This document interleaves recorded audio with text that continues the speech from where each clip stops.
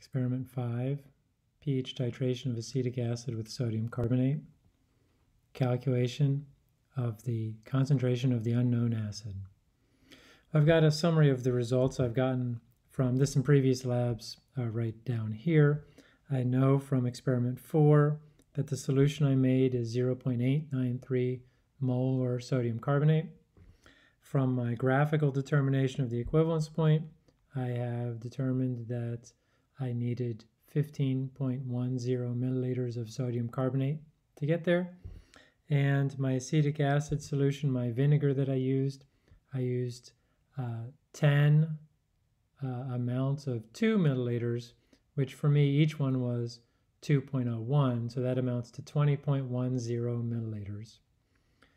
Now, uh, at the equivalence point, my moles of acid equals my moles of base.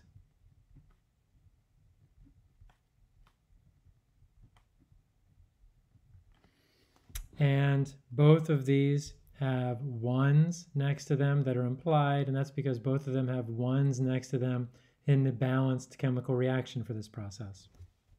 Now from there, I will start because I have my volume and my, my molarity of my base. I can find my moles of base.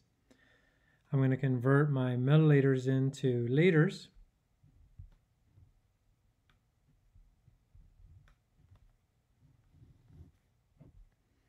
Then multiply that by the molarity, which is really 0.893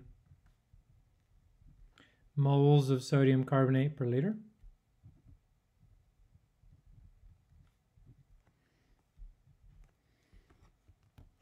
When I do that,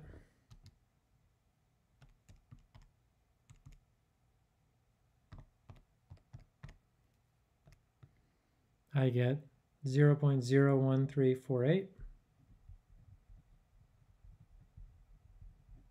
43 moles sodium carbonate and I only have three sig figs because I'm limited by my molarity. This moles of sodium carbonate is my moles of base. It is equal to my moles of acid, so now I will write equals this number moles uh, acetic acid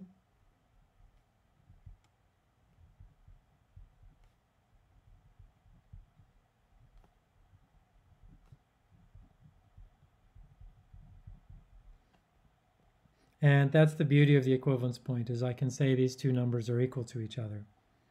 Now, because I have the moles of acetic acid and I have the volume of acetic acid, I can now find the molarity of the acetic acid by taking moles divided by, volu uh, by uh, volume in liters.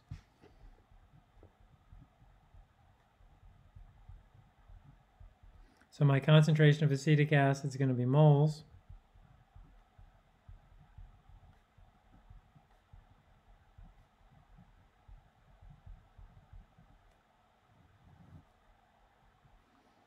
Divided by liters.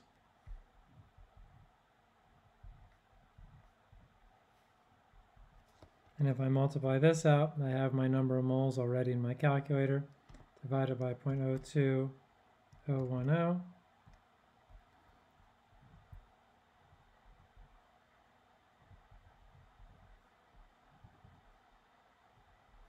I get 0.67086 molarity acetic acid